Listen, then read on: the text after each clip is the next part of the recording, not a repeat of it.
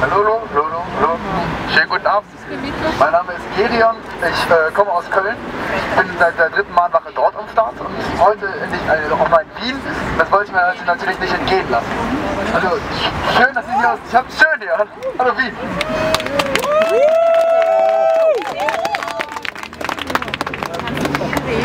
Also ich habe irgendwie angefangen, ähm, als Bahnwache aktiv zu sein. Ich bin Plappermaul, deswegen ich rede sehr viel, ich rede sehr gerne. Und ich habe irgendwann festgestellt, dass mir keinen wirklichen Spaß macht, reden zu halten. Am liebsten rede ich gerne mit Menschen. Und äh, deswegen versuche ich es auch irgendwie so zu machen, dass ich mit dir und dir und dir und dir und dir reden kann. Also deswegen habe ich gedacht, erzähle ich erstmal ein bisschen was von mir, damit du weißt, wer ich bin. Nun, ähm, ich habe in Deutschland mein Abitur gemacht und danach wollte ich unbedingt ähm, Psychologie studieren. Ich war nach meinem Abitur in Israel, ich habe in Ramallah gearbeitet, im Goethe-Institut. Ich habe mir die Kehrseite unseres Wohlstandes mal mit eigenen Augen angeschaut. Es ist das eine zu lesen, dass Menschen Menschen töten. Es ist was anderes, Leute zu fragen, magst du wirklich alle Palästinenser töten? Und dann jemand sagt, ja, möchte ich wirklich. Ich möchte die wirklich alle töten. Und dann Palästinenser kennenzulernen, die halt sagen von wegen, ja, ey, Hitler war irgendwie doch ein bisschen gut, ja, er hätte die anderen nicht auch ein bisschen abknallen können. Und du denkst so, was? Was sagst du da? Wie kannst du?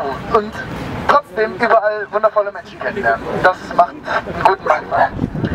Nun danach wollte ich irgendwie das verstehen lernen. Ich wollte wissen, wie Menschen sowas tun können, weil ich weigere mich zu glauben, dass das, was sie tun, einen Rückschluss zulässt auf den Wesen des Menschen. Sie verhalten sich so, aber so ist nicht die menschliche Natur. Glaube ich nicht. Also wollte ich das verstehen und habe dann gedacht, Psychologie studieren ist doch dabei ganz, vielleicht ganz gut.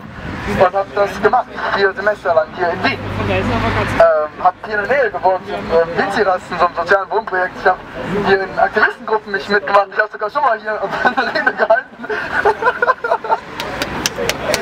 ah, ja. ähm, genau, ich habe ähm, ich, also es waren eigentlich genau drei Gründe, weswegen ich äh, Wien wirklich lieben gelernt habe. Äh, einmal, ich, hab, ich praktiziere den Buddhismus. Ich würde mich nicht als Buddhist bezeichnen, aber ich praktiziere den Buddhismus. Es war also für mich ein sehr, sehr schöner Weg, in mich hineinzufühlen. Und was ich da erfahren habe, wie sehr Leben verbunden ist, da habe ich mir gedacht, das muss ich doch auch irgendwie Experimentalpsychologen erklären können. Ich meine, ich studiere das ja immerhin. Und habe mich in einem Symposium für Bewusstsein ein Jahr lang äh, betätigt und habe mal immer wieder auch Vorträge gehalten, mich wirklich viele Materie reingearbeitet und habe nach knapp einem Jahr es geschafft, All-Eins-Bewusstsein für Experimentalpsychologen so zu erklären, dass sie zumindest sagen, ja, doch, klingt nachvollziehbar und äh, ein paar Tage später saßen die alle zusammen, also wirklich alle zusammen, bei mir in meinem Zimmer und wir haben zusammen meditiert. Das war schön.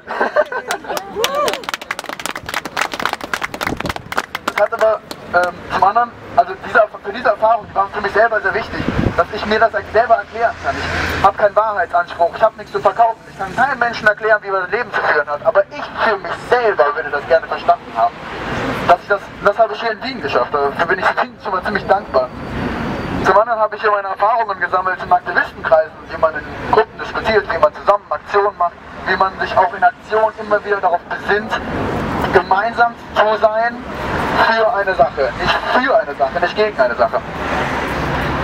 Das habe ich hier angefangen zu lernen. Und drittens natürlich, ey klar, die Architektur. Was für eine geile Stadt ist denn das? also es ist ein ganz großer Unterschied, Häuser zu bauen, weil man eine Kunst machen möchte, weil man wirklich Leidenschaft hat und nicht etwas baut, wo man denkt, oh, ja, da kann man wohnen. Also das ist ein Unterschied. Das sieht man hier in Wien und Köln ganz deutlich. Nun, ähm, das ist aber einer der Gründe, warum ich hier bin. Und eigentlich würde ich mich doch interessieren, warum du hier bist. Warum bist du eigentlich hier?